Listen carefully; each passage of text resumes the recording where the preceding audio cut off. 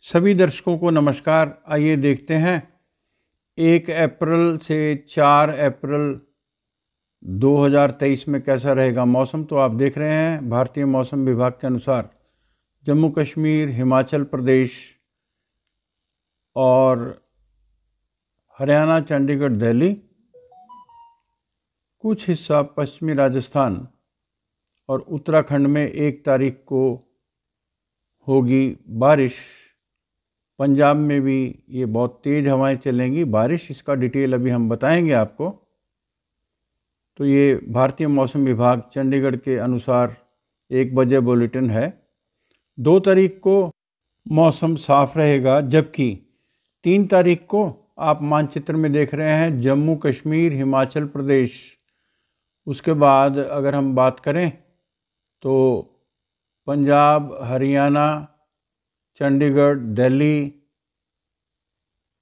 और अब आप देख रहे हैं पंजाब में भी बादल काफ़ी छाए रहेंगे, तेज़ हवाएँ चलेंगी। येलो वार्निंग है ये।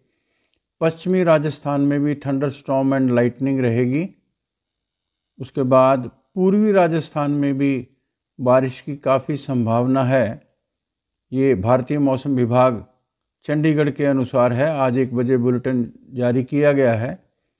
और पश्चिमी उत्तर प्रदेश में भी बारिश और थंडर स्टॉम और लाइटनिंग रहेगी। पश्चिमी उत्तर प्रदेश के बाद अगर हम बात करें तो ईस्ट मध्य प्रदेश में भी रहेगी। और बात करें तो उत्तराखंड में भी काफ़ी हिस्सों में तीन तारीख को बारिश रहने की पूरी संभावना है। बात करते हैं, इसके बाद हम चार तारीख की तो अगले मानचित्र में आप देख रहे हैं कि चार तारीख को जम्मू कश्मीर और फिर हिमाचल प्रदेश, कुछ भाग होंगे पंजाब के। उसके बाद आप देखिए, पंजाब के बाद हरियाणा, चंडीगढ़, दिल्ली। साथ में है आपका ये पश्चिमी उत्तर प्रदेश, वेस्टर्न यूपी।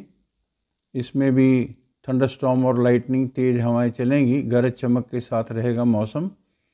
और पश्चिमी उत्तर प्रदेश के बाद अगर हम देखें तो हिमाचल प्रदेश में भी इसी प्रकार का रहेगा मौसम। आइए अब हम डिटेल में देखते हैं, पंजाब और हरियाणा का किस प्रकार रहेगा मौसम एक से चार अप्रैल तक। ये जानकारी भारतीय मौसम विभाग चंडीगढ़ ने दी है कि एक तारीख से चार अप्रैल तक किस प्रकार रहेगा मौसम। तो हम देख रहे हैं कि वार्निंग जो चेतावनी दी गई है एक से चार में, दो तारीख को पूरे पंजाब में मौसम ठीक रहेगा, जबकि पठानकोट, गुरदासपुर, श्री अमृतसर साहिब में एक, तीन और चार को येलो अलर्ट दिखाया गया। गरज चमक के साथ बारिश कहीं कहीं हो सकती है। हवा की स्पीड रहेगी 30 से 40 किलोमीटर प्रति आवर और तरन तारण में एक और दो, दोनों दिन मौसम ठीक रहेगा, जबकि होशियारपुर में एक तारीख और तीन और चार तारीख को येलो अलर्ट दिखाया गया है।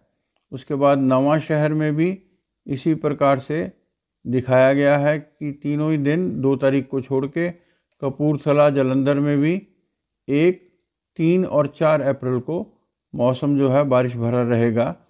उसके बाद बात करें फिरोजपुर, फाजिलका, फरीदकोट, श्री मुक्सर साहब, मोगा। बटिंडा की तो इनमें एक और दो को मौसम ठीक रहेगा, चार तारीख को भी ठीक रहेगा, मगर तीन तारीख को तेज़ हवाएँ और बारिश आ सकती है। फिर लुधियाना में भी इसी प्रकार एक, तीन और चार अप्रैल को मौसम जो है, वो बारिश भरा रहेगा। फिर बरनाला, मानसा, संगरूर, इनमें एक और दो को कोई मौसम ख़राब नहीं है, बिल्कुल साफ़ रहेगा। गड़े और गरज चमक पड़ सकते हैं और बारिश तेज़ आ सकती है इन्हीं चारों ज़िलों में। तो उसके बाद अगर हम देखें श्री फतेहगढ़ साहब, रूपनगर, पटियाला एस एस नगर में एक, तीन और चार को मौसम जो है, वो गरज चमक तेज़ हवाएँ चल सकती हैं तीस चालीस किलोमीटर के हिसाब से। इसी प्रकार हरियाणा में अगर हम देखें तो पंचकूला अम्बाला यमुनानगर, कुरुक्षेत्रा में और कैथल में, करनाल में दो तारीख को मौसम साफ़ रहेगा, मगर एक और तीन और चार अप्रैल को गरज चमक तेज हवाएँ, जिनकी गति होगी तीस से चालीस किलोमीटर, ये चलेंगी। और ओलावृष्टि कैथल में दिखाई गई है, कुरुक्षेत्रा में भी और करनाल में भी तीन तारीख के लिए। उसके बाद अगर हम बात करते हैं तो महेंद्रगढ़, रेवाड़ी, झज्जर, गुरुग्राम, मेवात पलवल, फरीदाबाद, रोहतक सोनीपत, पानीपत की। तो इनमें एक और, दो और चार तारीख को मौसम बिल्कुल साफ़ रहेगा, मगर तीन तारीख को येलो अलर्ट दिखाया गया है।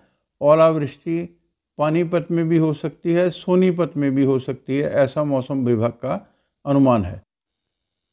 किसान भाइयों, से अनुरोध है कि वो मौसम को ध्यान में रख के ही अपने खेती के काम करेंगे। सभी को ढेर सारी शुभकामनाएँ। नमस्कार।